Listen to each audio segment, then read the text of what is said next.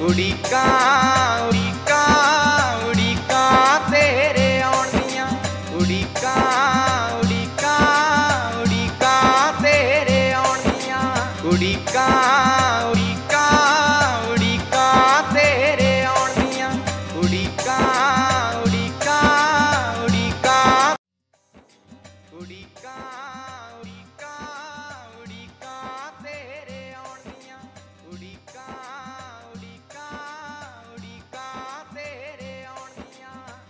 ਉਡੀਕਾਂ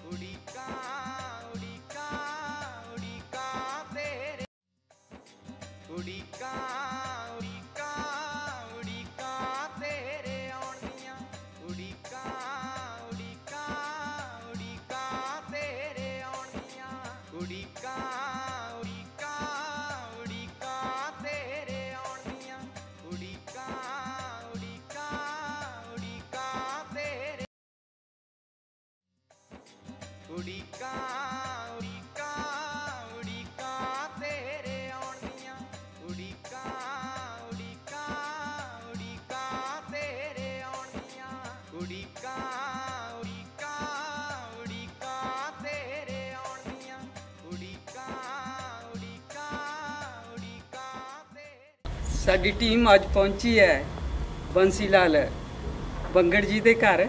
floor floor ਵਿੱਚ ਔਰ ਅਸੀਂ ਦੇਖ ਕੇ ਹੈਰਾਨ ਹੋ ਗਏ ਹਾਂ ਕਿ ਵਿਦੇਸ਼ਾਂ 'ਚ ਰਹਿ ਕੇ ਜਿਨ੍ਹਾਂ ਕਿ ਯੂ ਐਸ ਏ 'ਚ ਰਹਿੰਦੇ ਆ ਪਰ ਇਹਨਾਂ ਦੇ ਬਗੀਚੀ ਨੂੰ ਦੇਖ ਕੇ ਅਸੀਂ ਹੈਰਾਨ ਹੋ ਗਏ ਕਿ ਹਰ ਤਰ੍ਹਾਂ ਦੇ ਫਰੂਟ ਹਰ ਤਰ੍ਹਾਂ ਦੀਆਂ ਛੋਟੀਆਂ-ਛੋਟੀਆਂ ਸਬਜ਼ੀਆਂ ਜਿਹੜੀਆਂ ਹੈਗੀਆਂ ਵਰਤੋਂ ਵਾਲੀਆਂ ਉਹ ਲਾਈਆਂ ਆ। ਉਧਰ ਪੂਦਨਾ ਲੱਗਾ ਆ ਇੱਧਰ ਲੁਗਾਠਾ ਲੱਗੀਆਂ ਆ ਉਹ ਨਾਸਪਾਤੀਆਂ ਲੱਗੀਆਂ ਆ, ਇੱਧਰ ਸੰਤਰੇ ਲੱਗੇ ਹੋਏ ਆ। ਔਰ ਮਿੱਟੀ ਦਾ ਮੋਹ ਉਹਨਾਂ ਨੇ ਕਿਸ ਤਰ੍ਹਾਂ ਬਰਕਰਾਰ ਰੱਖਿਆ ਹੈਗਾ। ਕਿ 3 ਮਹੀਨੇ ਬਾਅਦ ਆਉਂਦੇ ਆ, ਪਰ ਫਿਰ ਵੀ ਆਪਣੀ ਬਗੀਚੀ ਦੀ ਸੰਭਾਲ ਜਿਹੜੀ ਆ ਕੇ ਆਪ ਕਰਦੇ ਆ। ਔਰ ਸਾਰੀ ਬਗੀਚੀ ਅਸੀਂ ਘੁੰਮ ਕੇ ਦੇਖੀ ਹੈ। ਔਰ ਬੜਾ ਕੁਝ ਵਧੀਆ ਲੱਗਾ, ਬੜਾ ਕੁਝ ਚੰਗਾ ਲੱਗਿਆ। ਜਿਹੜੇ ਬਾਹਰ ਅਮਰੀਕਾ ਵਿੱਚ ਰਹਿੰਦੇ ਆ ਜਾਂ ਬਾਹਰਲੇ ਮੁਲਕਾਂ 'ਚ ਰਹਿੰਦੇ ਆ, ਉਹਨਾਂ ਦੇ ਘਰਾਂ 'ਚ ਇਹ ਕੁਝ ਨਹੀਂ ਨਸੀਬ ਹੁੰਦਾ ਸਾਨੂੰ। ਪਰ ਅੱਜ ਸਾਨੂੰ ਬਹੁਤ ਖੁਸ਼ੀ ਹੋਈ ਹੈ ਆਜ਼ਾਦ ਰੰਗਮੰਚ ਦੀ ਸਾਰੀ ਯੂਨਿਟ ਨੂੰ ਅਸੀਂ ਉਹਨਾਂ ਦੇ ਨਾਲ ਗੱਲਬਾਤ ਕਰਾਂਗੇ। ਕਿ ਇਹ ਜਿਹੜਾ ਮਿੱਟੀ ਦਾ ਮੋਹ ਜਿਹੜਾ ਤੁਸੀਂ ਵਿਦੇਸ਼ਾਂ 'ਚ ਜਾ ਕੇ ਵੀ ਬਰਕਰਾਰ ਰੱਖਿਆ ਕੋਈ ਦੱਸੋ ਕਿ ਇਹ ਸ਼ੌਂਕ ਕਿਸ ਤਰ੍ਹਾਂ ਤੁਹਾਨੂੰ ਪਾਲਿਆ ਤੁਸੀਂ? ਭਾਜੀ ਇਹ ਸ਼ੌਕ ਹੋਇਆ ਤਾਂ ਕੁਦਰਤੀ ਹੁੰਦਾ ਆ। ਤੇ ਸਭ ਤੋਂ ਪਹਿਲਾਂ ਤਾਂ ਮੈਂ ਆਪ ਸਭ ਦਾ ਤੁਹਾਡੀ ਸਾਰੀ ਟੀਮ ਦਾ ਆਜ਼ਾਦ ਰੰਗਮੰਚ ਵਾਲਿਆਂ ਦਾ ਬਹੁਤ ਧੰਨਵਾਦੀ ਹਾਂ ਜੋ ਕਿ ਇਹ ਜੋ ਗੇਟ ਫਲੋਰ ਮੇਰੇ ਗ੍ਰਹਿ ਵਿੱਚ ਆ ਕੇ ਤੇ ਧਰਤੀ ਨੂੰ ਭਾਗ ਲੱਗੇ ਹਨ ਤੁਸੀਂ ਤੁਹਾਡੇ ਆਉਣ ਨਾਲ ਬਹੁਤ ਸਾਨੂੰ ਖੁਸ਼ੀ ਹੁੰਦੀ ਹੈ ਮੈਨੂੰ ਖੁਸ਼ੀ ਹੋਈ ਆ। ਤੇ ਬਾਕੀ ਮੈਨੂੰ ਅਮਰੀਕਾ ਰਹਿੰਦੇ ਨੂੰ 40 ਸਾਲ ਹੋ ਗਏ। ਤੇ ਉਹ ਤਾਂ ਜੇ ਆਪਾਂ ਗੱਲ ਛੀੜੀਏ ਤਾਂ ਬਹੁਤ ਲੰਮੀ ਚੜੀ ਹੋ ਜਾਂਦੀ ਆ ਜੋ ਦੁੱਖ ਤਕਲੀਫਾਂ ਸੰਘਰਸ਼ ਮੈਂ ਕੀਤਾ ਜ਼ਿੰਦਗੀ ਵਿੱਚ ਉਹ ਤਾਂ ਮੈਨੂੰ ਪਤਾ ਜਾਂ ਰੱਬ ਨੂੰ ਪਤਾ ਖੈਰ। ਤੇ ਮੈਨੂੰ ਪੱਕੇ ਹੋਣ ਵਿੱਚ ਉੱਥੇ 8-10 ਸਾਲ ਲੱਗ ਗਏ ਸੀ। ਮੈਂ ਐਜ਼ ਵਿਜ਼ਟਰ ਗਿਆ ਸੀ। ਤੇ ਇੱਥੇ 8-10 ਸਾਲ ਲੱਗ ਗਏ। ਉਹ ਤੋਂ ਬਾਅਦ ਫਿਰ ਮੈਂ ਸਾਰਾ ਪਰਿਵਾਰ ਸੱਦਿਆ। ਦੋ ਬੇਟੀਆਂ, ਦੋ ਬੇਟੇ ਮੇਰੀ ਵਾਈਫ ਉਹ ਤੋਂ ਬਾਅਦ ਫਿਰ ਮੈਂ ਆਪਣੇ ਮਾਂ, ਬਾਪ, ਫਿਰ ਆਪਣੇ ਭਰਾ, ਭੈਣਾਂ, ਸਾਰਾ ਕੋਣ ਵਾਲੇ ਜਿੰਦੇ ਨੇ ਸੱਦਿਆ। ਸਾਰੇ ਉੱਥੇ ਰਹਿ ਰਹੇ। ਤੇ ਬਾਕੀ ਗੱਲ ਹੈਗੀ ਇੱਥੇ ਦੀ ਮੇਰੇ ਆਉਣ ਦੇ ਬਾਰੇ ਵਿੱਚ। ਹਾਂ, ਮੈਂ ਮੈਂ ਉੱਥੇ ਕੰਮ ਕੀਤਾ ਸਮਝੋ 30 ਸਾਲ ਸਕੂਲ ਡਿਸਟ੍ਰਿਕਟ ਵਿੱਚ ਐਜੂਕੇਸ਼ਨ ਡਿਪਾਰਟਮੈਂਟ ਵਿੱਚ। ਤਾਂ ਫਿਰ ਮੈਂ ਰਿਟਾਇਰਮੈਂਟ ਲੈ ਲਈ ਸੀ 2006 ਵਿੱਚ। 2006 ਤੋਂ ਬਾਅਦ ਫਿਰ ਇਹ ਮਕਾਨ ਬਣਾਇਆ 2009 ਵਿੱਚ। ਹਾਂਜੀ। ਉਹ ਤੋਂ ਬਾਅਦ ਮੇਰਾ ਇੱਥੇ ਦਾ ਆਉਣਾ ਬਹੁਤ ਜ਼ਿਆਦਾ ਹੀ ਹੋ ਗਿਆ ਵੀ ਸਾਲ ਵਿੱਚ ਦੋ ਵਾਰ ਤਾਂ ਮੈਂ ਆਉਂਦਾ ਹੀ ਆਉਂਦਾ ਹਾਂ। ਤਿੰਨ ਮਹੀਨੇ ਇੱਥੇ ਤਿੰਨ ਉੱਥੇ ਤਿੰਨ ਇੱਥੇ ਤਿੰਨ ਉੱਥੇ ਏਦਾਂ ਹਾਂਜੀ। ਤੇ ਬਾਕੀ ਇਹ ਤਾਂ ਕੁਦਰਤੀ ਗੱਲ ਆ ਕਿ ਸਾਡਾ ਇਸ ਮਿੱਟੀ ਨਾਲ ਜਿੱਥੇ ਇਨਸਾਨ ਪੈਦਾ ਹੁੰਦਾ ਹੈ ਤੇ ਉਹ ਉਹਨਾਂ ਗਲੀਆਂ ਨਾਲ ਉਹ ਪਿੰਡ ਨਾਲ ਉੱਥੇ ਦੇ ਲੋਕਾਂ ਨਾਲ ਬਹੁਤ ਪਿਆਰ ਹੁੰਦਾ ਤੇ ਫਿਰ ਇਹ 2009 ਵਿੱਚ ਬਣਾ ਕੇ ਨਾਲੇ ਫਿਰ ਮੇਰੀ ਹੌਬੀ ਸੀਗੀ। ਸੰਗੀਤ ਦੀ ਤਾਂ ਹੌਬੀ ਮੇਰੀ ਹੈਗੀ ਆ ਤੇ ਨਾਲ ਇਹ ਸੀ ਵੀ ਮੈਂ ਬਾਗ ਇੱਥੇ ਲਾਇਆ 10 ਸਾਲ ਹੋ ਗਏ ਲੱਗੇ ਨੂੰ ਬਾਗ। ਹਾਂਜੀ ਤਕਰੀਬਨ ਕਈ ਤਰ੍ਹਾਂ ਦੇ ਘਰਾਂ 'ਚ ਜਾਈਦਾ ਅਸੀਂ ਫਰੂਟ ਦੇ ਬੂਟੇ ਤਾਂ ਤਕਰੀਬਨ ਕਿਸੇ ਕਿਸੇ ਘਰਾਂ 'ਚ ਹੁੰਦੇ ਹੀ ਆ। ਪਰ ਕੁਝ ਜਿਹੜੀ ਸਾਡੀ ਸਭਿਤਾ ਹੈ ਫੁੱਲਾਂ ਦੇ ਮਾਮਲੇ 'ਚ ਬੂਟਿਆਂ ਦੇ ਮਾਮਲੇ 'ਚ ਸਾਡੇ ਗਾਇਬ ਹੋ ਰਹੀ ਆ। ਅਸੀਂ ਜਦੋਂ ਗੇਟ ਖੋਲ੍ਹਿਆ ਸੀ ਤੁਹਾਡੇ ਪੂਤਰੇ ਦੀ ਖੁਸ਼ਬੂ ਜਿਹੜੀ ਆ ਸਾਨੂੰ ਗੇਟ ਤੇ ਆ ਗਈ ਸੀ। ਆ ਕੇਲੀ ਦਾ ਬੂਟਾ ਇੱਧਰ ਤੁਸੀਂ ਲਾਇਆ ਹੋਇਆ ਇਹ ਕੇਲੀ ਦਾ ਬੂਟਾ ਸਾਡੇ ਇਤਿਹਾਸ ਵਿੱਚੋਂ ਜਿਹੜਾ ਗਾਇਬ ਹੋ ਰਿਹਾ। ਹਾਂਜੀ ਹਾਂਜੀ। ਔਰ ਉਧਰ ਅਸ਼ੋਕਾ ਟਰੀ ਵੀ ਲੋਕਾਂ ਨੇ ਕਈ ਵਾਰੀ ਪੱਟ ਕੇ ਬਾਹਰ ਸੁੱਟ ਦਿੱਤੇ ਆ। ਔਰ ਮੋਰ ਪੰਖੀ ਇੱਧਰ ਲਾਇਆ ਹੋਇਆ। ਇਹ ਵੀ ਮੈਨੂੰ ਯਾਦ ਆ ਬਚਪਨ ਵਿੱਚ ਜਦੋਂ ਅਸੀਂ ਕਿਤਾਬਾਂ ਪੜ੍ਹਦੇ ਹੁੰਦੇ ਸਾਂ ਪਹਿਲੀ ਦੂਜੀ ਤੀਜੀ ਚੌਥੀ ਚ ਪੜ੍ਹਦੇ ਸਾਂ।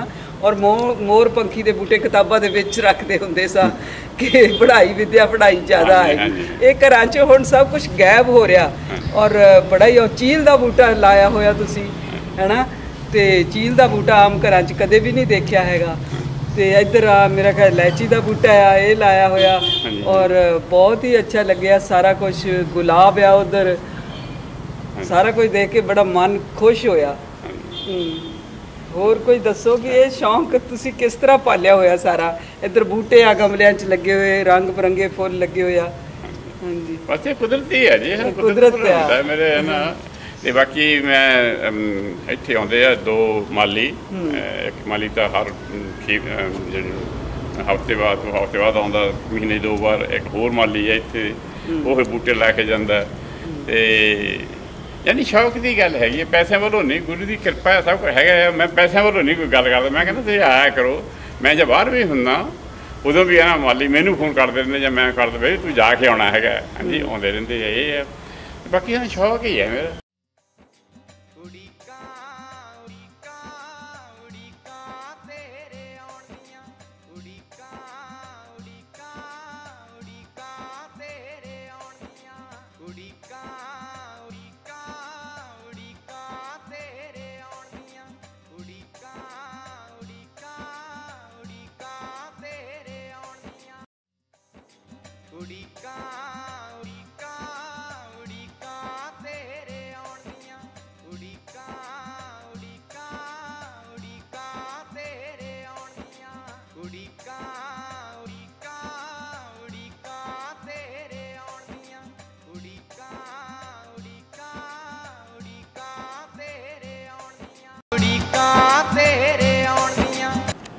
ਅੱਜ ਅਸੀਂ ਤੁਹਾਨੂੰ ਮਿਲਾਨ ਜਾ ਰਹੇ ਹਾਂ ਬੰਸੀ ਲਾਲ ਬੰਗੜ ਜੀ।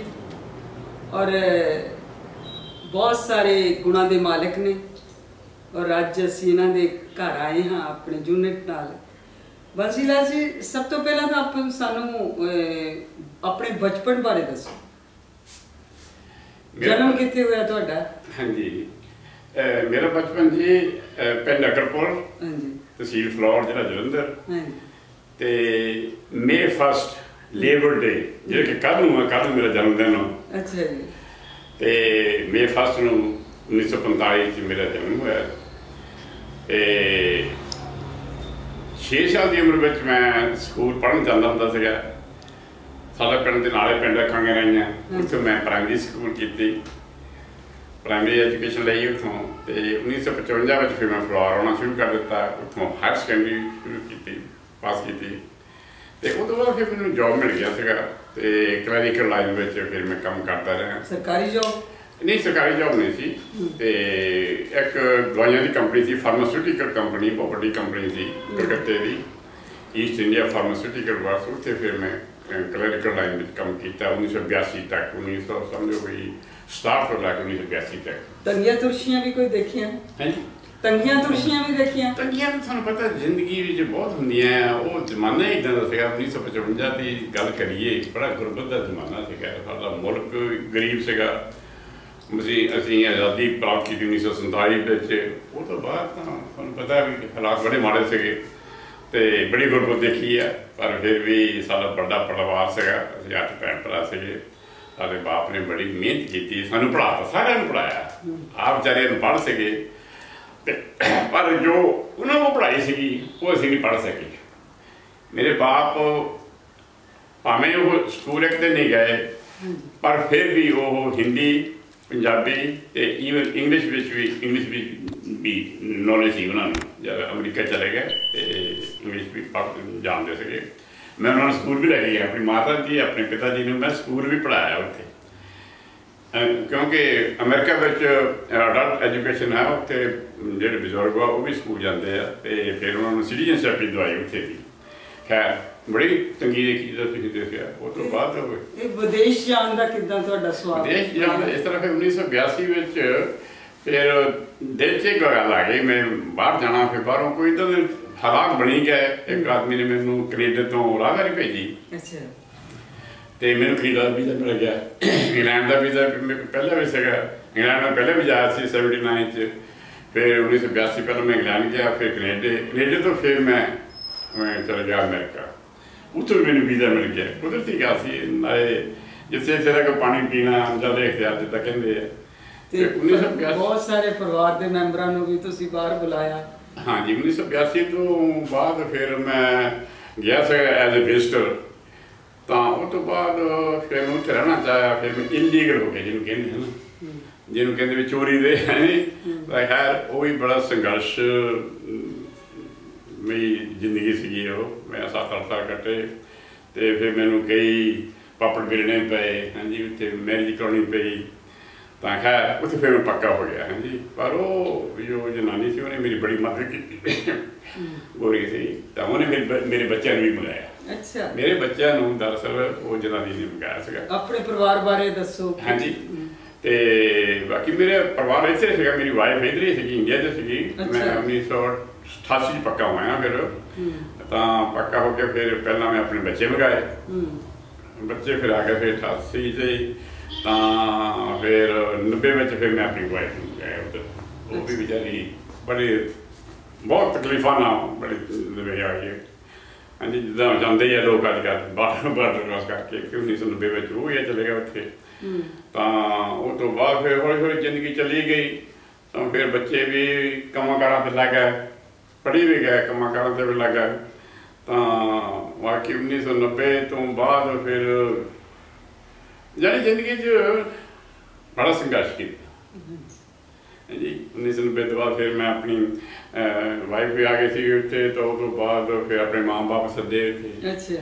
ਮਾਂ-ਬਾਪ ਤੋਂ ਬਾਅਦ 2000 1995 96 ਚ 99 ਵਿੱਚ ਫਿਰ ਆਪਣਾ ਸਾਰਾ ਪਰਿਵਾਰ ਸੱਦਿਆ। ਮੇਰੇ ਤਿੰਨ ਭਰਾ ਤਿੰਨ ਭੈਣਾਂ ਉਹਨਾਂ ਨੂੰ ਸੱਦਿਆ। ਫਿਰ ਉਹਨਾਂ ਨੂੰ ਸੈਟਲ ਕਰਨਾ ਬੜਾ ਬਹੁਤ ਔਖਾ ਕੰਮ ਆ ਜੀ ਹੈ ਉਹ ਹੁਣ ਸਾਰੇ ਉੱਥੇ ਰਹਿੰਦੇ ਆ ਅਮਰੀਕਾ ਰਹਿੰਦੇ ਆ ਤੇ ਬਾਕੀ ਮੈਂ ਜਿਸ ਤਰ੍ਹਾਂ ਦੱਸਿਆ ਵੀ 2006 ਵਿੱਚ ਮੈਂ ਉੱਥੇ ਫਿਰ ਐਜੂਕੇਸ਼ਨ ਡਿਪਾਰਟਮੈਂਟ ਵਿੱਚ ਮੈਂ ਕੰਮ ਕੀਤਾ।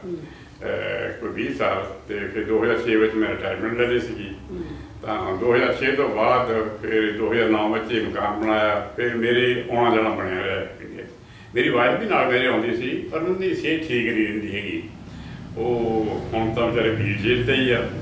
ਤੇ ਉਹਨੂੰ ਤਾਂ ਕਰਕੇ ਐਤਕੀ ਮੇਰੇ ਨਾਲ ਨਹੀਂ ਆਏ। ਨਹੀਂ ਤਾਂ ਪਹਿਲਾਂ ਮੇਰੇ ਨਾਲ ਆਉਂਦੇ ਰਹੇ- ਸੀਗੇ।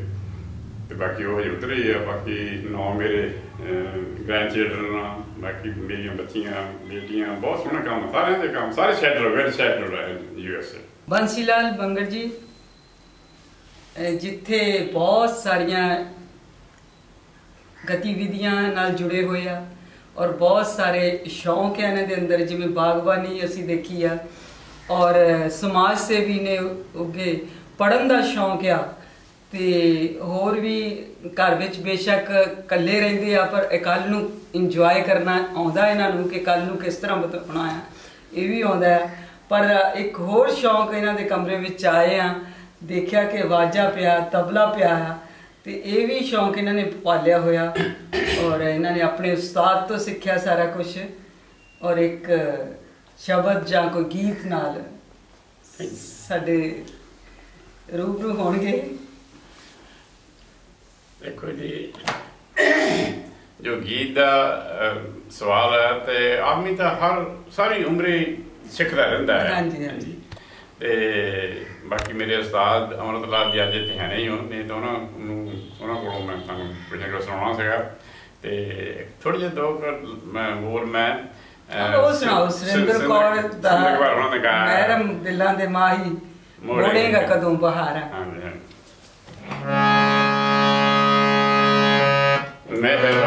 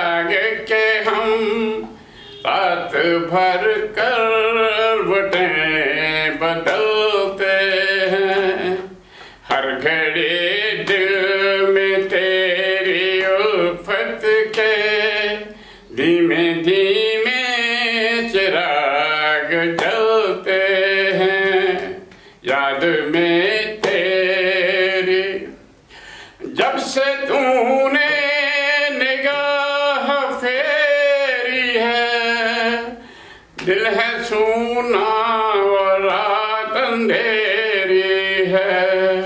जब से तूने निगाह फेरी है, दिन है सूना और रात अंधेरी है।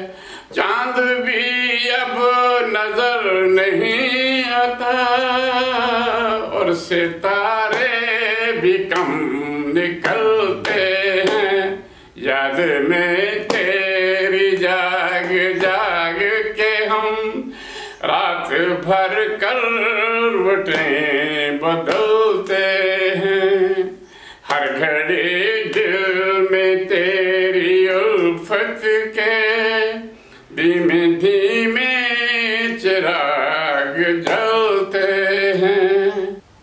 ਜ਼ਿੰਦਗੀ ਦੇ ਸੰਘਰਸ਼ ਤੋਂ ਸਾਡੀ ਜਿਹੜੀ ਆਉਣ ਵਾਲੀ ਜਨਰੇਸ਼ਨ ਆ ਆਉਣ ਵਾਲੀ ਪੀੜ੍ਹੀ ਆ ਜਾਂ ਅੱਜ ਦੀ ਜਿਹੜੀ ਪੀੜ੍ਹੀ ਆ ਉਹਨੂੰ ਕੋਈ ਸੁਨੇਹਾ ਛੱਡਣਾ ਚਾਹੋਗੇ?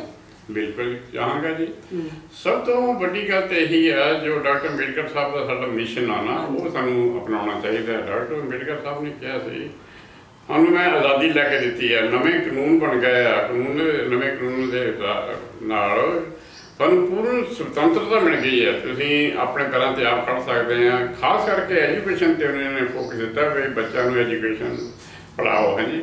ਤੇ ਮੇਰਾ ਇਹੀ ਆ ਆਪਣੀ ਕਮਿਊਨਿਟੀ ਨੂੰ ਆਪਣੇ ਲੋਕਾਂ ਨੂੰ ਵੀ ਤੁਸੀਂ ਬੱਚਿਆਂ ਨੂੰ ਜਿੰਨਾ ਵੀ ਪੜਾ ਸਕਦੇ ਆ ਬੱਚਿਆਂ ਨੂੰ ਪੜਾਓ ਪਰ ਇੱਥੇ ਆ ਕੇ ਦੇਖਦਾ ਬਹੁਤ ਬੱਚੇ ਕੁਰਾਹੇ ਪਏ ਆ ਬਹੁਤ। ਬੜਾ ਦੁੱਖ ਲੱਗਦਾ ਇਸ ਗੱਲ ਦਾ। ਤੇ ਮੈਂ ਤਾਂ ਮੇਰਾ ਤਾਂ ਇਹੀ ਮੈਸੇਜ ਆ ਖਾਸ ਮੇਰਾ ਮੈਸੇਜ ਇਹੀ ਹੈ ਕਿ ਬੱਚਿਆਂ ਨੂੰ ਪੜਾਉਣਾ ਚਾਹੀਦਾ ਹੈ ਤੇ ਇਹ ਫਿਰ ਇਹ ਤਰੱਕੀ ਕਰ ਸਕਦੇ ਆ ਨਹੀਂ ਤਾਂ ਅਸੀਂ ਉੱਥੇ ਦੇ ਉੱਤੇ ਖੜੇ ਆ ਜੋ ਅੱਜ ਤੋਂ 50 ਸਾਲ ਸਾਲ ਸਾਲ ਪਹਿਲਾਂ। ਖੜੇ ਅਸੀਂ ਉੱਤੇ ਬੈਠੇ ਹਾਂ। ਮੋਬਾਈਲ ਕਲਚਰ ਚੋਂ ਨਿਕਲ ਰਹੇ ਬੱਚੇ। ਹਾਂ ਜੀ ਜਿਹੜਾ ਮੋਬਾਈਲ ਕਲਚਰ ਉਹਨਾਂ ਦੇ ਅੰਦਰ ਵੜ ਗਿਆ। ਬਸ ਬਸ ਉਹੀ। ਮੋਬਾਈਲ ਨੇ ਕਿਹਾ ਸੀ ਮੈਨੂੰ ਵਰਤੋ। ਹਾਂ ਜੀ ਪਰ ਉਹਨੂੰ ਵਰਤਣ ਲੱਗ ਗਏ ਆ। ਮੈਂ ਤਾਂ ਹੈਰਾਨ ਆ ਬੱਚੇ ਇਹ ਨਸ਼ੇ ਨਾਲ ਵੀ ਭੈੜਾ ਆ। ਬਹੁਤ ਜ਼ਿਆਦਾ, ਇਹ ਨਸ਼ੇ ਨਾਲੋਂ ਵੀ ਪੈੜਾ ਤੁਹਾਡੀ ਗੱਲ, ਬਿਲਕੁਲ ਸਹੀ ਆ। ਮੈਂ ਤਾਂ ਦੇਖਦਾ ਜੇ ਕਿਤੇ ਮੈਂ ਜਾਂਦਾ ਤਾਂ ਬੱਚੇ ਅੱਧੀ ਰਾਤ ਨੂੰ ਬੈਠ ਕੇ ਮੋਬਾਈਲ 'ਤੇ ਕੀ ਦੇਖਦੇ ਹੁੰਦੇ ਤੁਸੀਂ? ਇਹ ਬਹੁਤ ਵੱਡੀ ਸਮੱਸਿਆ ਆ। ਸਾਡੀ ਪੀੜ੍ਹੀ ਲਈ ਬਹੁਤ ਵੱਡੀ ਸਮੱਸਿਆ ਹੈ। ਤੇ ਫਿਰ ਮੈਂ ਤਾਂ ਉਹੀ ਕਹਾਂਗਾ ਕਿ ਐਜੂਕੇਸ਼ਨ ਤੇ ਬੱਚਿਆਂ ਨੂੰ ਧਿਆਨ ਦੇਣਾ ਚਾਹੀਦਾ। ਮਾਂ-ਬਾਪ ਨੂੰ ਵੀ ਧਿਆਨ ਦੇਣਾ ਚਾਹੀਦਾ। ਬੱਚਿਆਂ ਨੂੰ ਪੜਾਓ ਜਿੰਨੇ ਵੀ ਪੜਾ ਸਕਦੇ। ਬੜਾ ਅੱਛਾ ਲੱਗਿਆ ਆਜ਼ਾਦ ਰੰਗਮੰਚ ਦੇ ਸਾਰੇ ਯੂਨਿਟ ਨੂੰ ਤੁਹਾਡੇ ਘਰ ਵਿੱਚ ਆ ਕੇ। ਤੁਹਾਡਾ ਘਰ ਸਾਰਾ ਵੇਖ ਕੇ ਬਗੀਚੀ ਵੇਖ ਕੇ ਤੁਹਾਡੇ ਸੁਭਾਅ ਦੇ ਸਾਰੇ ਹਿੱਸੇ ਦੇਖ ਕੇ ਬਹੁਤ ਹੀ ਮਨ ਨੂੰ ਸਕੂਨ ਮਿਲਿਆ। ਬਹੁਤ ਬਹੁਤ ਸ਼ੁਕਰੀਆ। You are always welcome to come ਉਡੀਕਾਂ ਤੇਰੇ ਆਉਣ ਦੀਆਂ